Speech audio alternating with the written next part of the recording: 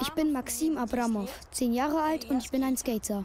Im ersten Film, Maxim der Größte, geht es um einen Jungen, der seine Beine verloren hat und trotz dieser Behinderung Skateboard fährt und sogar bei den Paralympics mitmachen will. Mein Traum ist es, einmal an den Paralympics teilzunehmen. Der Film Jules und ich handelt von Rose, die einen Bruder hat, der eine Geschlechtsumwandlung macht. Jules will ihr Gesicht verändern lassen.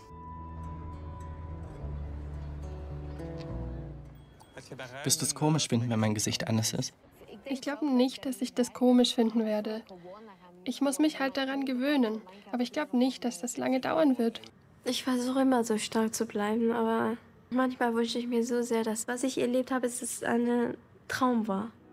Im dritten Film, Seepferdchen, geht es darum, dass das Mädchen Hannah über das Meer nach Deutschland flüchtet und dabei ihren kleinen Bruder mitnimmt. Sie überwindet ihre Angst vor dem Wasser und bringt sogar anderen Kindern bei, wie man schwimmt. Unter diesen Kindern ist auch ihr Bruder Sida.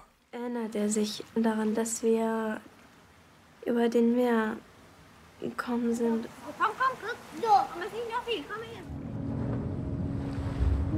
Ich glaube nicht, dass man das so einfach verlieren kann.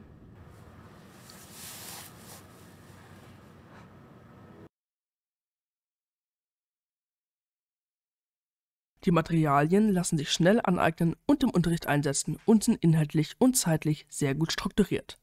Deshalb findet unsere Jury großartig für Lehrkräfte